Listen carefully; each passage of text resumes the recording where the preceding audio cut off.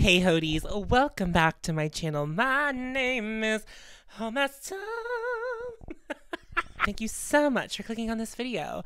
Grab a drink, grab some popcorn, grab a snack. Today we're counting down more of the products that I tried this year. If you're new, hi, welcome. I've already done the 17 worst products I tried this year, and now we are doing the 17 meh is products that I've tried this year. And so we're working our way all the way up to the best of what I tried this year. My channel is really about loving my makeup collection as it is, so that's what my content really focuses around. But this year I did obviously try some new items as I am ranking them here in this very video. But if you like the kind of content where you see a lot of the same stuff being used by the content creator, I would love to have you subscribe. Make sure you like this video so more people can find it. And I'm also on patreon.com if you would like to support me there. No pressure though, I just really appreciate that you are here. Everything that is on my will be listed down below if you are interested. I don't know how I felt about this shirt as a sitting shirt, but we are sure committed. We're committed to the bit. We got a little mini skirt on. We're really doing our best today. We're back in the cozy corner. Our special guests will be the Metis products.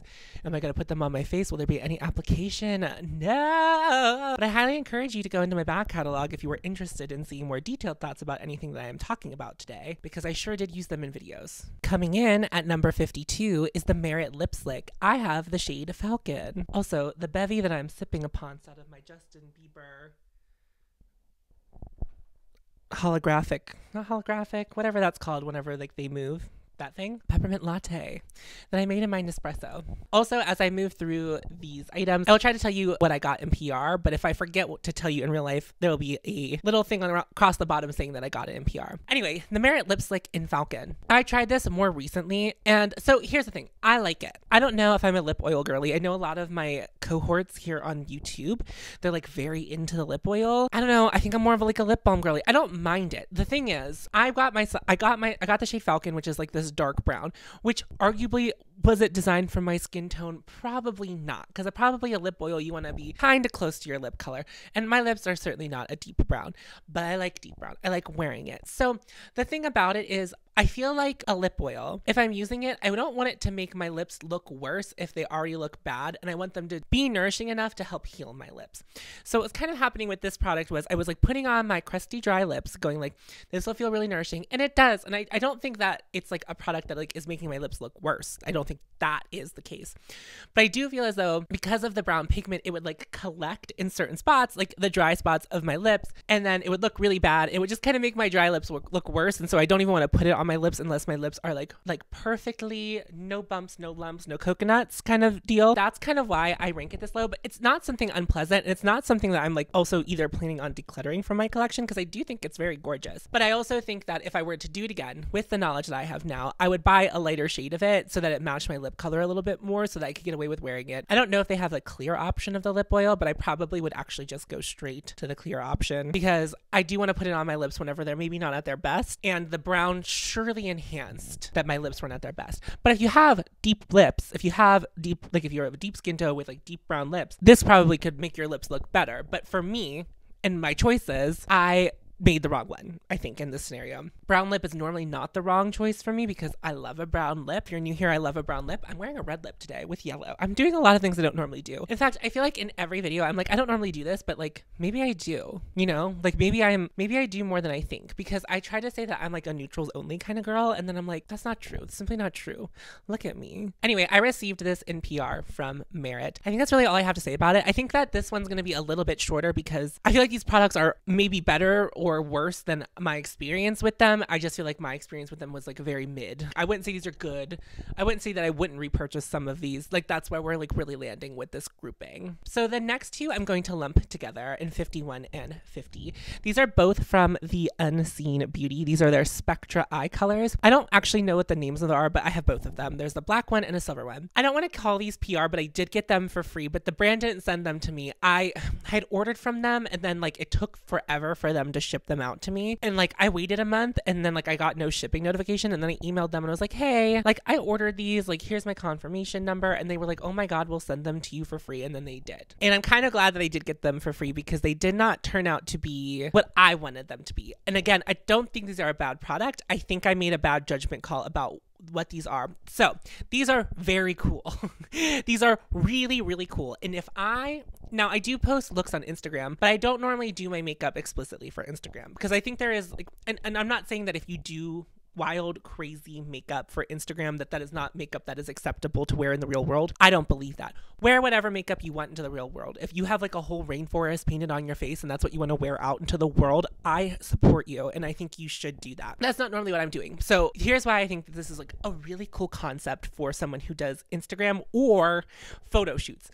but it's like so specific. You have to take your pictures through your phone for this to work. What these do is with your flash on your camera on your phone, what happens is they turn into that like reflective. There are pigments in there that are those the reflective materials. I have like some pairs of shoes that are like that look like this, where like whenever there's no light on them, they're just like gray and then when like a light directly hits them they reflect back really bright and kind of like flash back into the camera that's what these do i use them a couple of times and the thing is they're very cool whenever you can get them to work and they do work under the very specific scenario under you are using your rear camera with your flash on they will work. I wanted to be able to take pictures in my good camera. The camera that we are currently using is like also just a regular camera. So I wanted to take pictures through that. The flash on that camera does not activate it. Like it sort of does, but not as well as the, the flash on the back of my phone. And I thought maybe I can use the flash on the back of my phone with this camera. Turns out no, it has to come like the source of light has to be like such a way associated with the lens for it to like capture purely. The magic's a little bit gone, but also let it be known whenever no one seemed to notice when I was doing this on Instagram, like I was trying to show off the qualities of these products, like where I would do a photo with no flash and then I would do a photo with the flash. And I don't think anyone caught on that there was a difference, but I was also using them with like lots of colors. So with the black one, I think if you were just doing like a black liner and then you like did both, people would be like, wow, so cool. But the gray one is kind of translucent when you put it on. And I think it's like that to be designed to be put on top of color products to make that effect happen like what's happening in the black one with like any color that you would want it to happen with. It's like one of those things that like if you're not looking for it then you don't understand. But it does work in videos and in photos on your rear camera. Here's the thing. I'm not going to get someone else to take a picture for me. And like also like trying to catch yourself this way is really difficult. If you are someone who does like editorial photography, if you're a makeup artist who does editorial photography and you are like playing with light and flash on your phone, I like double checked the verbiage because I was like, I didn't realize that I could only do this with my phone. And had I done like any semblance of digging down deeper to try to find that information, I would have found that in fact they do say it has to be like done with a camera flash with the camera lens. And therefore it kind of makes these products not entirely moot to me, but like it's not even like if I was going to a rave or something that it would get activated in real life for someone to see it. So it's like just such a specific product. It's cool. The concept is so cool. I'll try to find one of me trying to utilize the product, but yeah, unfortunately, while it's very cool and I want to be the cool person who like is using the very cool new thing, it's unfortunately not something that like really worked out super well for me because it's just not what I do. And number 49th. In number 49th. I can't believe you, Mimi, I'm first, came third in the voting. I think I just quoted that wrong. It's the Retro Glam palette, which I did purchase myself. I hate putting this this low.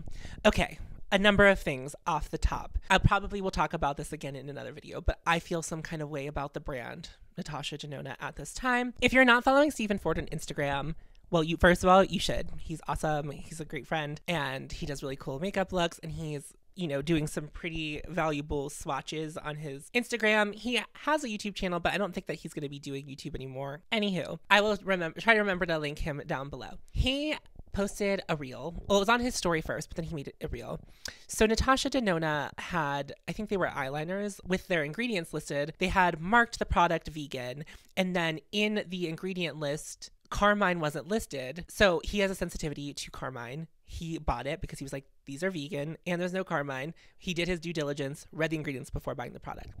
The product arrived, he puts it on his face, and he has irritation from the product. And he's like, this is weird. Wonder what's in here that's causing the irritation. On the box of the product, it does list carmine, but it also says that it is vegan. he has brought this to Natasha Denona's attention, and luckily, Steven have screenshots of the website before that the switch happened.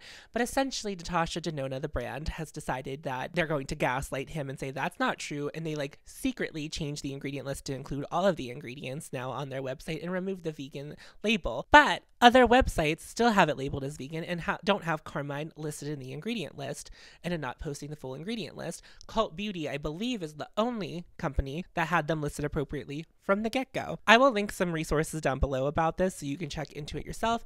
I probably won't be buying from Natasha Denona going forward. I obviously have a lot of Natasha Denona in my collection already, and I'm obviously not like going to throw it all away. It is still one of the formulas that I like the most in my collection, and I still have a lot of it to get through to enjoy. So there's not really a problem there. I'm just gonna, you know, maybe do a little bit less featuring Natasha Denona on my channel at this point. Let's talk about the retro glam specifically. I did a first impressions video. I'll try to remember to link this somewhere because I, I didn't link anything last time because I was just like, feels like a lot of work. But I'm recording way ahead of time now, so hopefully future me decides to put in the effort. In my first impressions video, I talked about how much I love the mini retro palette. It's my favorite Natasha Denona palette I think I own. That might be true. Like I think the mini retro might be my favorite because I love it. It's so easy. I love the colors in it. And whenever Natasha Denona released the retro midi palette, I was completely disappointed because it was all pinks, which is like not my gig. I like pink sometimes, but not a full palette of pink. I'm not going out of my way to buy that. This felt like, you know, uh, course correction with the retro glam to be like anyone who was disappointed in the full set like the midi retro is now getting their wish. So i was very interested in it because of that. But then i tried it and here's the big here's the two big problems i have with it. The brand is very good at texture. A lot of their palettes have good texture. I'm thinking of my 28 pan palettes. So much beautiful gorgeous texture in there. So many different finishes. Even in the mini retro there's like a various amount of textures. The textures fall so flat in this palette versus the other ones where it's just like this feels like so half-assed and it was just like it just felt like something to appease us but not something to actually bring delight and joy because if you would have made it really interesting texturally, I think a lot of people would have forgiven the fact that this is not really super olive. I I guess I wasn't expecting olive because the the mini retro doesn't really feel olive. Like the greens in there don't feel super olive. So I think a lot of people were disappointed with that this leaned a little more teal than it was olive. I'm saying that as a general complaint for other people, not really for myself. I like don't really mind that they're a little bit blue. That's okay by me. And also, I think if you had interesting textures and maybe you had like less mattes and more shimmers with interesting texture, people with various skin tones would be more attracted to this. But what's happened is because they're like these desaturated blues and pinks, which there's not even that many pinks in the palette, which is you know, fine by me. But if you were trying to do an equal balance of things, we didn't really hit that. People with deeper complexions might have been able to see value in this palette. But I think what kind of happened is like people it, it just like didn't really work out.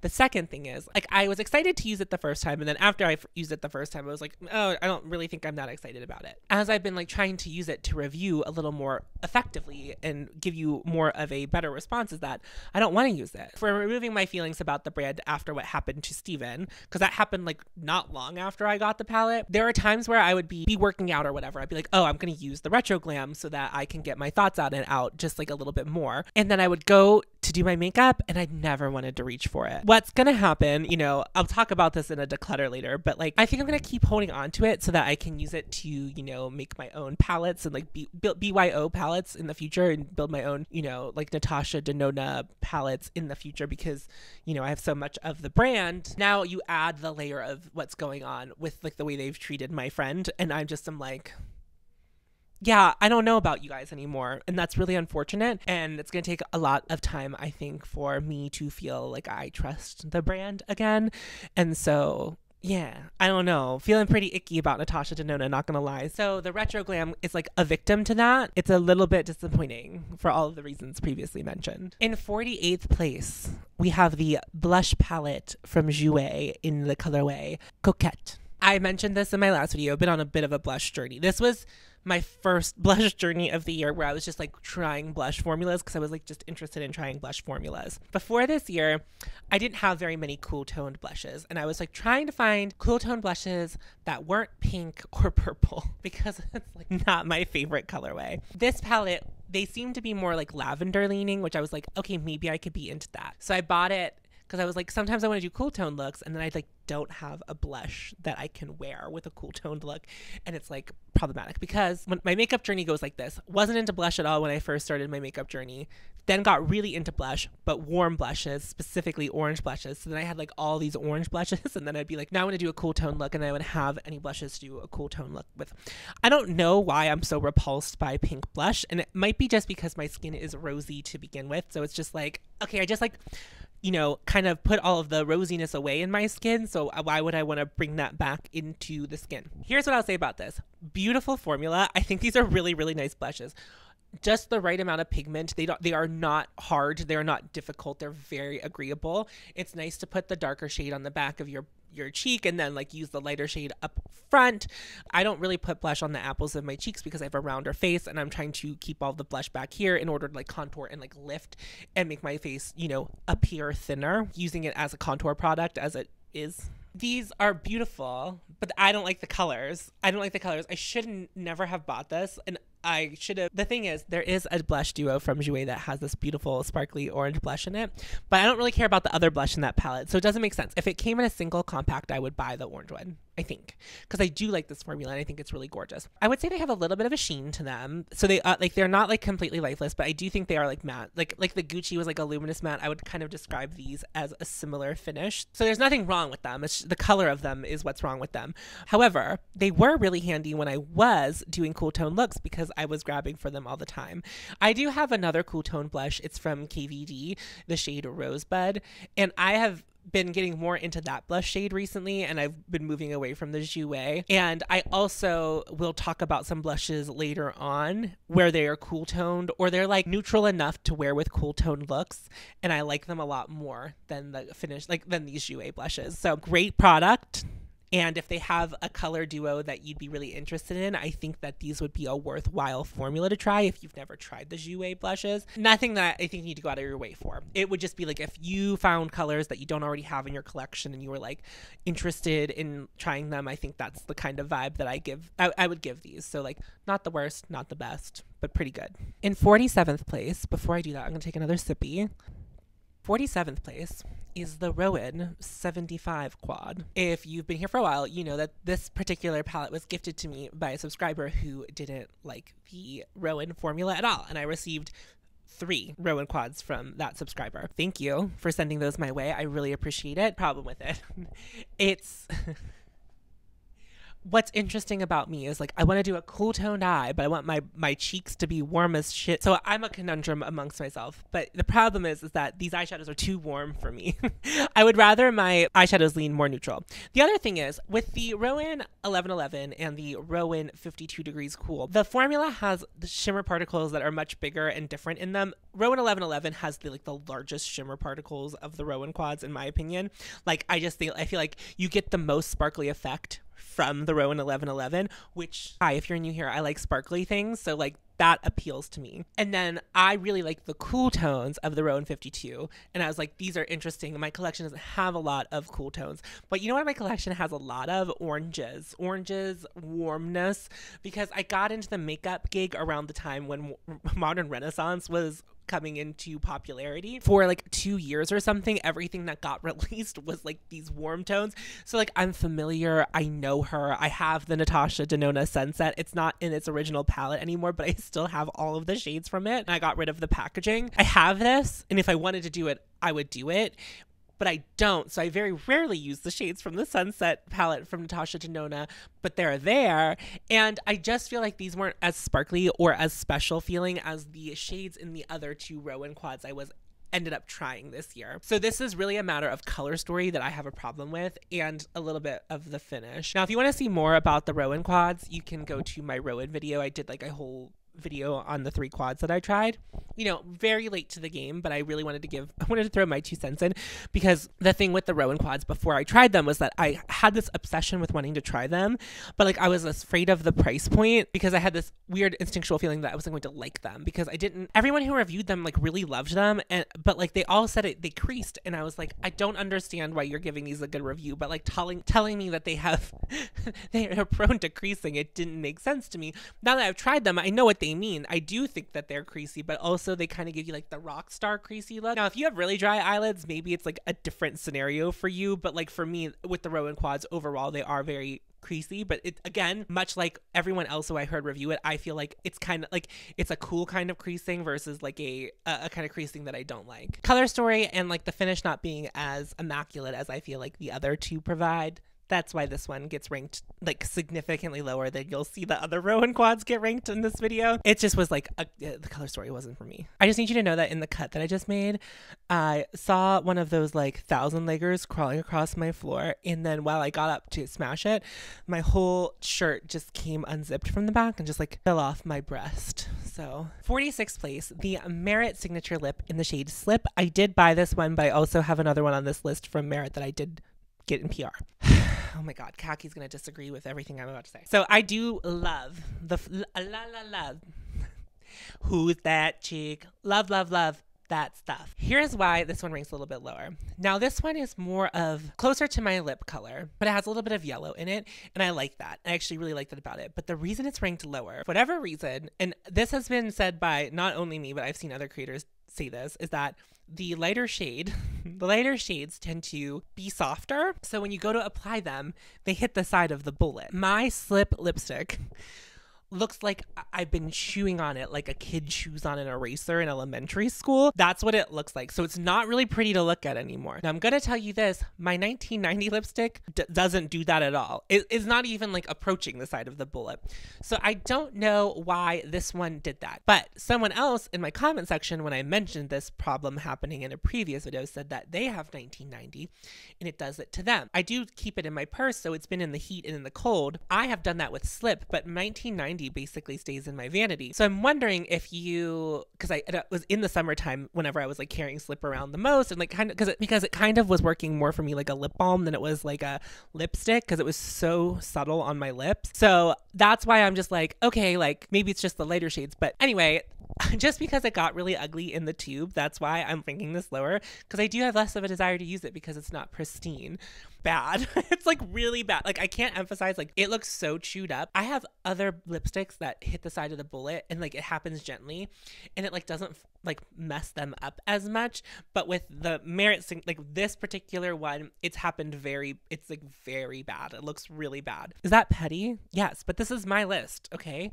And I'm allowed to rank things however I want to rank them. In 45th place is the Westman Atelier Vital Skincare pressed powder. Here's the thing about this powder. I kind of like it, but also it's like not the best powder. If you watched my Charlotte Tilbury series last week, you'll see that sometimes powder can really excite me. I like both of the powders that I tried from Charlotte Tilbury, and that was a big surprise to me. I like the Chantecaille Perfect Blur powder. And so when I tried this at first, I was like, okay, there's like a soft blurring that was happening, not as much as my Chantecaille, not as much as I would even say the, the airbrush powders from Charlotte Tilbury provide, but like it was doing something. And I used it for some time, but I do feel like because of my oily skin, it was something that I needed to powder a lot more than with other powders that I have tried. So I was like, okay, like, so there's that. But, you know, if it's supposed to have all these ingredients that are good for your skin, and what's really beautiful about it is like, it's a, a kind of it it does seem to me that it would be much more suitable for someone who has dry skin. It never really fully mattified what I was trying to put it on.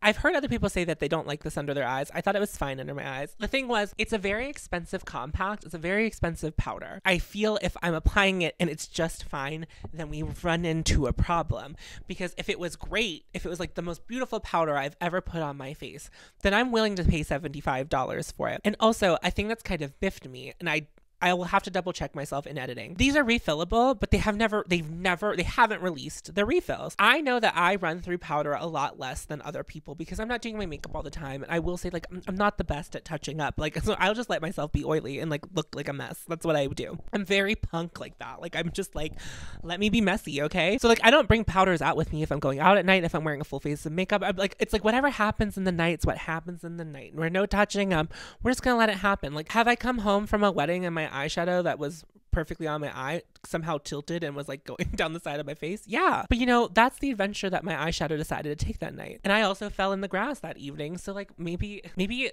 there was a lot of stuff happening that could have made my eyeshadow move. Another issue I have with this is this compact is not a friendly compact. The magnet is so strong, so strong that when you try to open it, there's nothing to hold. Like there's all there almost nothing to hold on to in order to pry it open. So me, someone who doesn't really have mobility issues with my hand, I'm having trouble opening it, which you are now people who have mobility issues, if they wanted to try this product, I don't know that they would be able to get it open. And I know that they probably have tools and stuff, but like, why aren't we like, why aren't we taking that into consideration when we're making? It? It's actually the compact is actually what fucked me off the most about this because I had to every single time break the tension of the magnet by sticking my nail in there. Now my nails aren't painted right now, but I do like painting my nails. I don't want to chip my nail opening a powder compact. That's like fuck.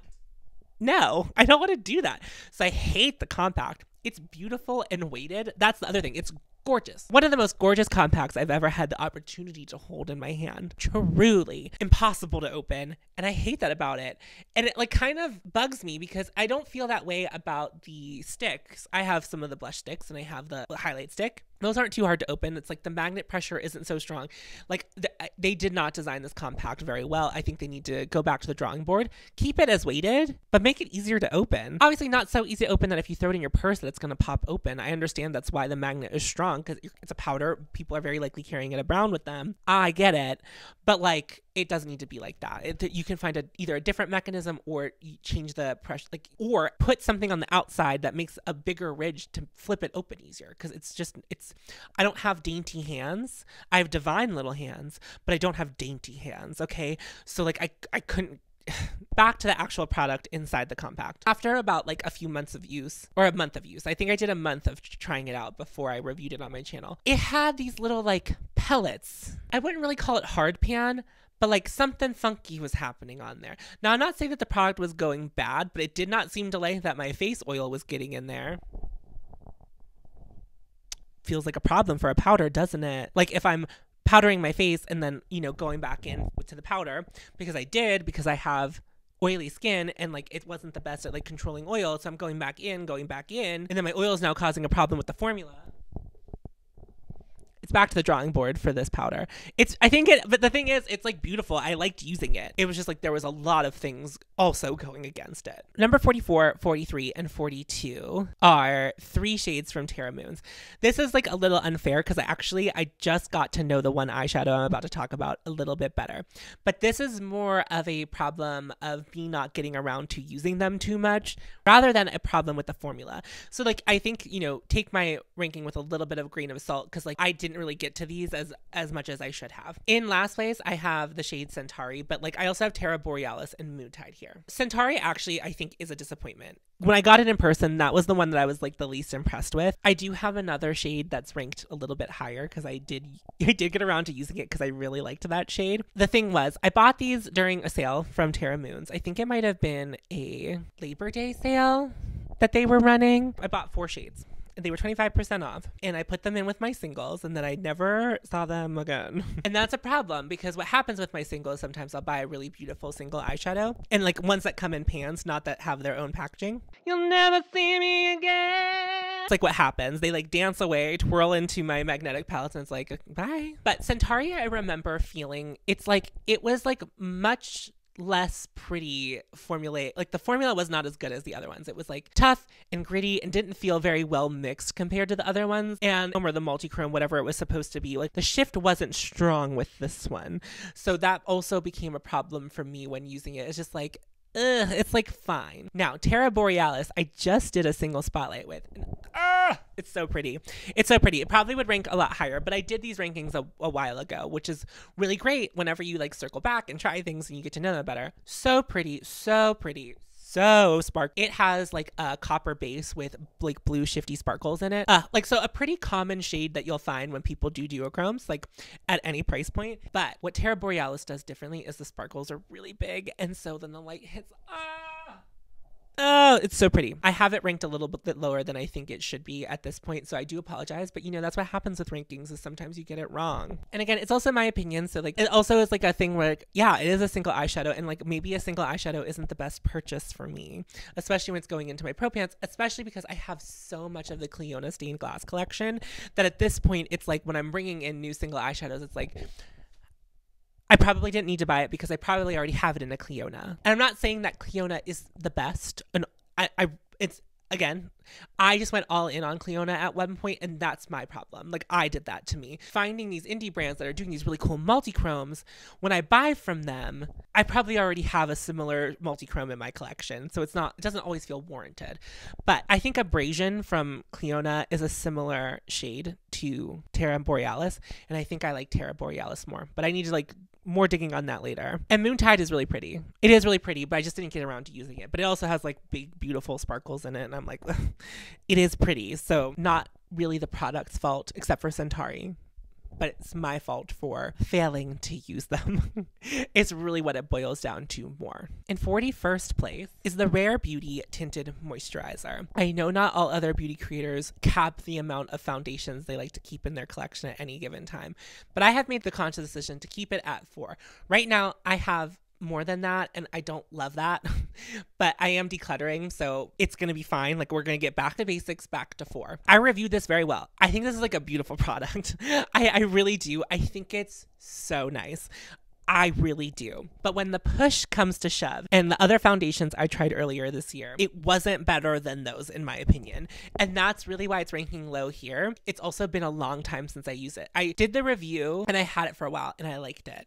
And then the Merit Perfecting Complexion Stick was sent to me in PR. And I felt like whenever I was using them both in tandem, they kind of filled a similar spot. And I preferred using the complexion stick. They're not really the same thing, but like they were filling the same like light coverage space in my foundation collection. So like I would consider both of those products to be like going out for the movies or whatever, like during the day, getting lunch with a girlfriend you haven't seen in a couple years and catching up. That's the kind of makeup that I would consider both the Rare Beauty Tinted Moisturizer and the Merit. So I like the Merit just a little bit more. So that's why they're rare. So I haven't really touched this product in a while, but I remember it being like really beautiful. I loved the glow of it. It was so glowy and beautiful.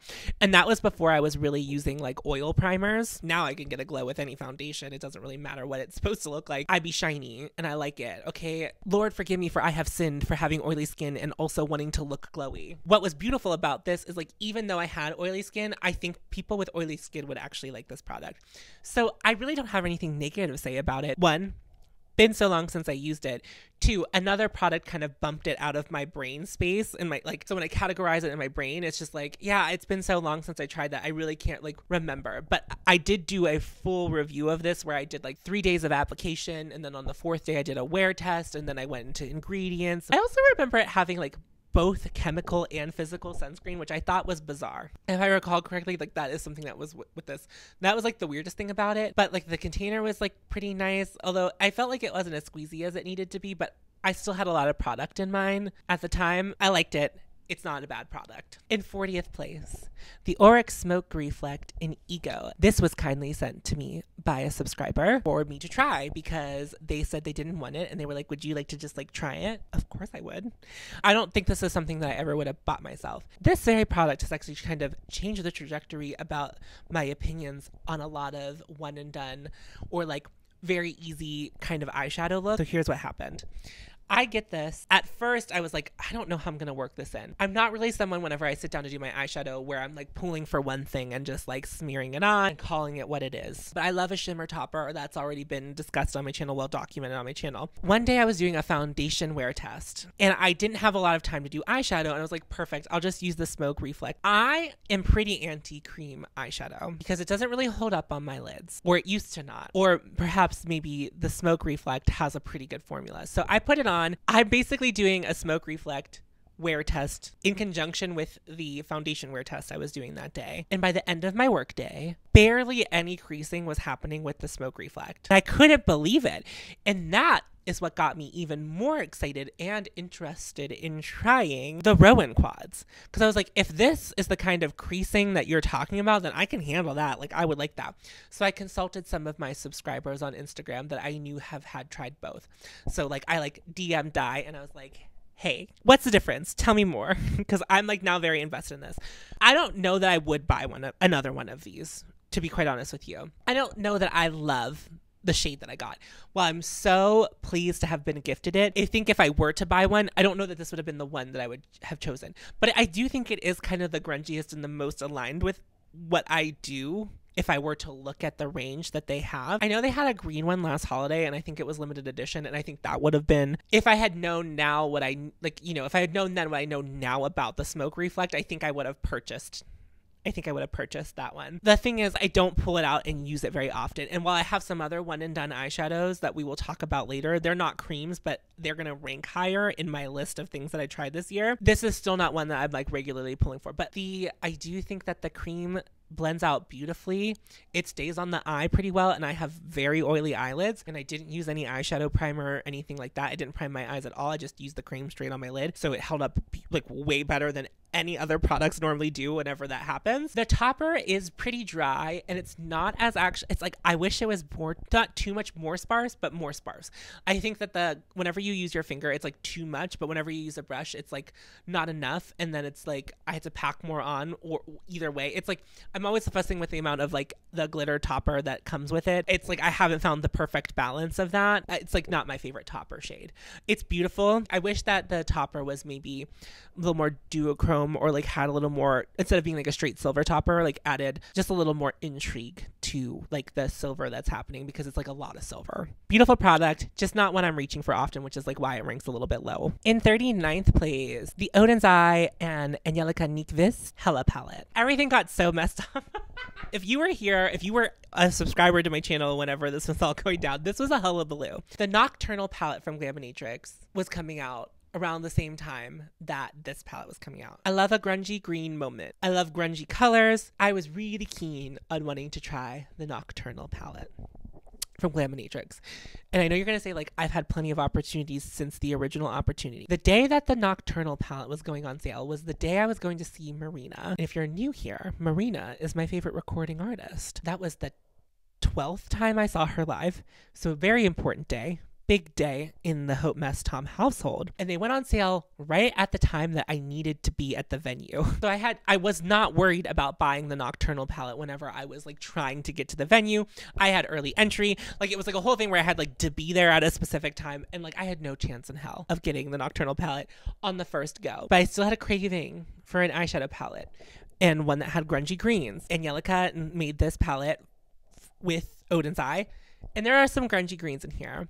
So I bought it. While there are some beautiful shimmers and beautiful textures, my heart really lies in that bottom row with all of those sooty, like dirt colors. They're so pretty. But the lighter greens, I don't really care for. And there's some pinks in there and previously described in this video, you know that I'm not super interested in the pinks. And while I think it's a beautiful palette and I do like the Oden's Eye formula, I did get a little bit of hard pan in some of the shades. And actually, it happens when I'm swatching in the review video that I do for it. You know, I used some tape, it came right off. I'm not really saying that's a downside. Like hard pan just happens sometimes. So I'm not trying to say that the formula is compromised by that. But now I don't really stick my fingers in mattes as much whenever I get a new palette because I'm like, I'll do the one swatch for the video, but then for the most part, I'm just using brushes in those shadows. But I guess if you do apply mattes with your fingers, something to be weary of with the Oden's Eye formula. I was thinking about this palette recently. I was like, wow, I haven't used that in a while. And I haven't Every time I use it, I like the look. And I, you know what's so funny is I almost always use the pinks whenever I use it. Like not exclusively, but I always incorporate the pinks into my look whenever I do use this palette. And a couple of times I have worn it in videos before even looking at my description box. People are like, "Oh, that's the Hela palette." I don't think there's like anything technically wrong with this, but I just didn't use it that much after the initial excitement of it. That's something I try to avoid. Like I don't want to bring things into my makeup collection that I use and then forget about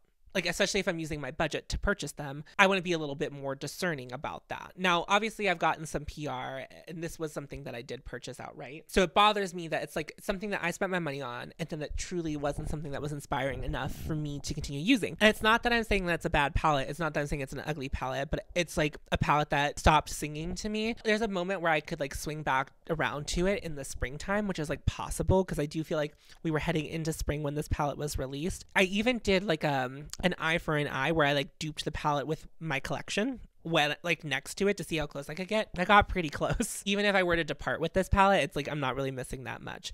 The shades that I like the most are those city shades, and you'll find out later on in this.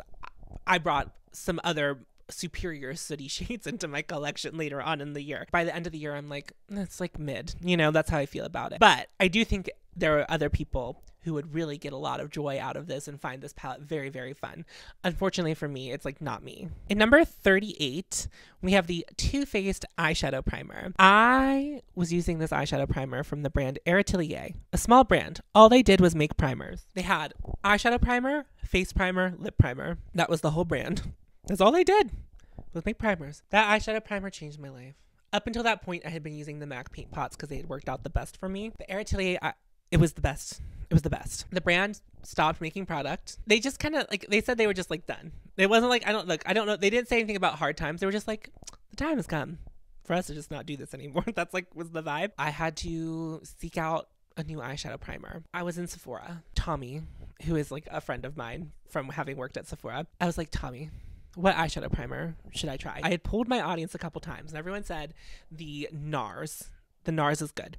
Well, the NARS is so popular, it's hard to get your hands on. Tommy says, try the Too Faced. The Too Faced works just, just about as well as the Eratelier. What both of them do is with satins and mattes. They make them last all day. Now, for like glitters and like shimmers and stuff like that, I need to use like a glitter glue or like some other kind of adhesive. I have worked out with eyeshadow on my face, which I don't recommend. But I'm not even doing it for testing reasons. It's just like I'm at this point in my day where I'm like, okay, it's time to work out. Done 45 minutes, sweaty ass Peloton rides where the rest of my face is all melted off, but my eyeshadow's still there. The reason why it's so low, it's like not exciting. It's not exciting nor new. and it's from Too Faced, which I know a lot of people aren't really interested in. It's a delightful little, it's a delightful little product. You know, sorry, my foot's been in the frame for who knows how long. Oh, let me just bring my other foot up in frame. If you sell these, you better give me. If you screenshot, if you you owe me money. If you're yanking your tools to my feet.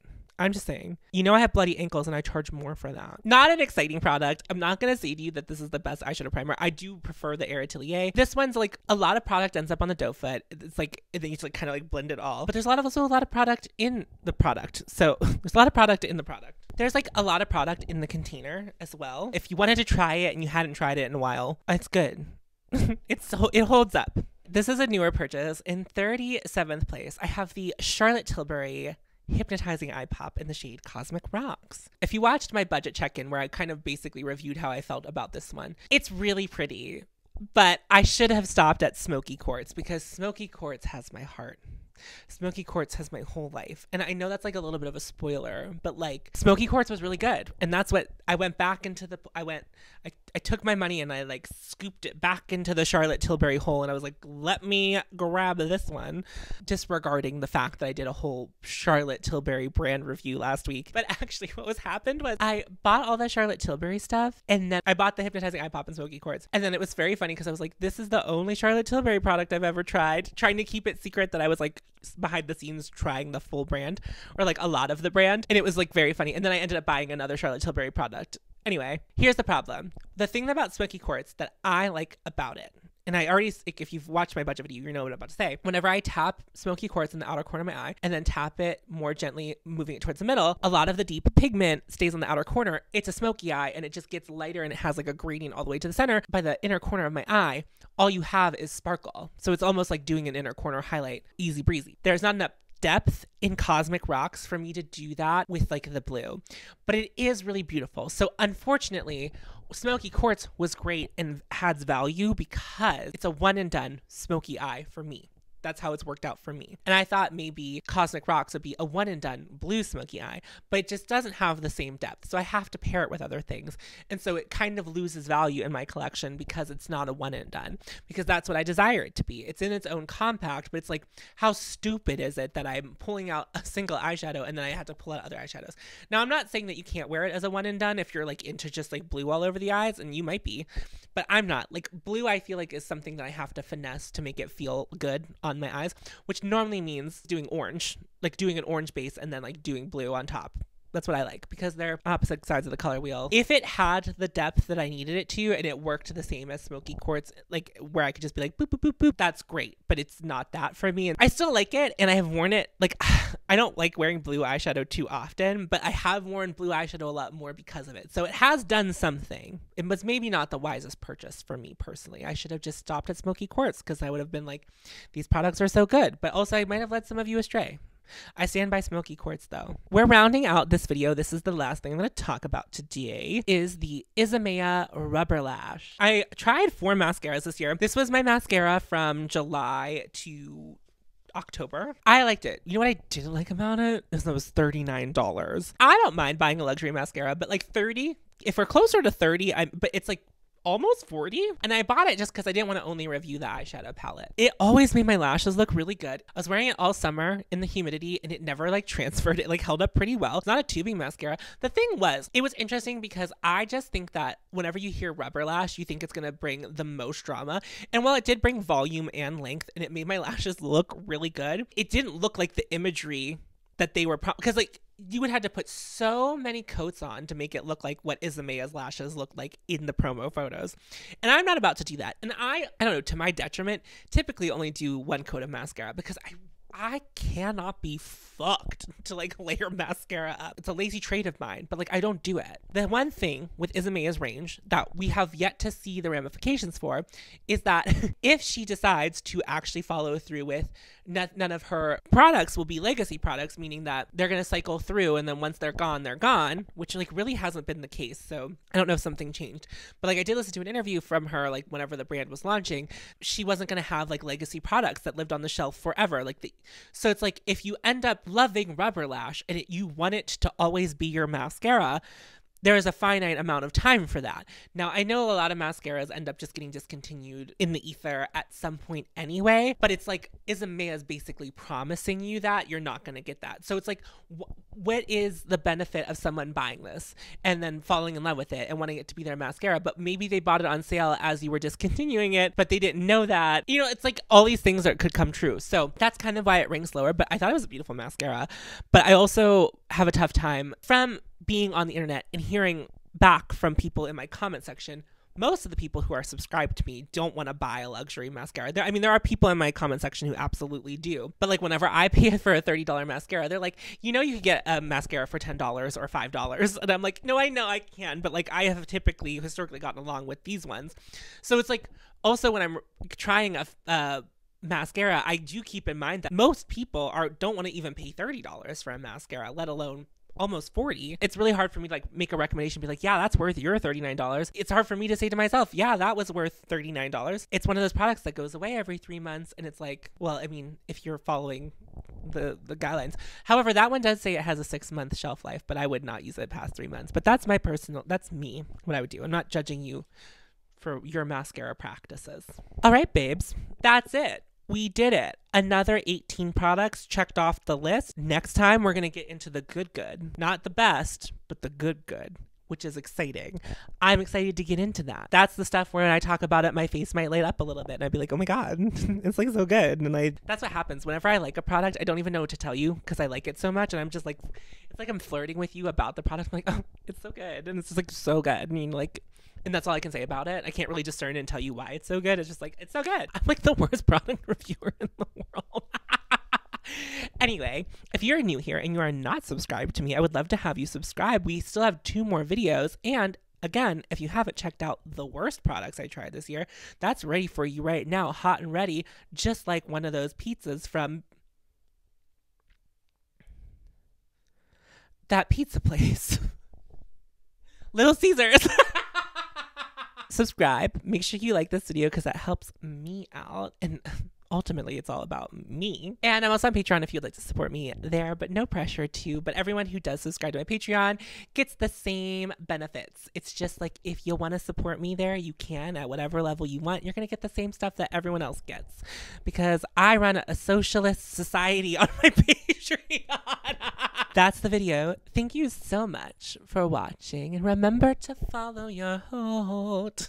okay, we're not going to do that. Follow your heart and you'll find me. I appreciate you all so much for watching, and I will see you in the next video. Bye bye.